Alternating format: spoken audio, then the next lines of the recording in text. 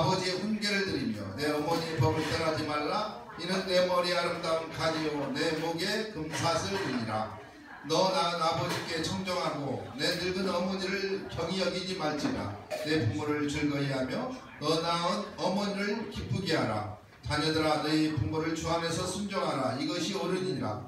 내 아버지와 어머니를 공경하라. 이것이 약속이 있는 첫 계명이니 이는 내가 잘되고 땅에서 장수하리라. 아멘 우리의 생명 되신 주 하나님 아버지 하나님께서 우리 남가족 한인 목사회를 지금으로부터 49년 전에 이 땅에 세워주시고 또한 이렇게 49대 아버지 하나며 이 머리를 이끌어 오늘 이 순간까지 인도해 주신 진실로 감사합니다.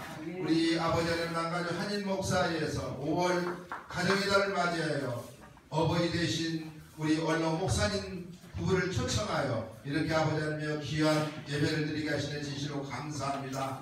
하나님께서는 아버지 하나님이여 우리 연장 되신 어버이를 사랑한 것 같이 우리 원로 목사나 나가지 한인 목사의 서로 어버이 관계로서 서로 존경하고 사랑하는 그런 관계로서 이루어 나갈 줄 믿습니다. 하나님 오늘 이 예배 가운데 함께 해주셨고 예배의 순서를 우리 하나님께서 인도하여 주시옵소서 주 예수님의 이름으로 기도합니다. 아멘. 우리 다 같이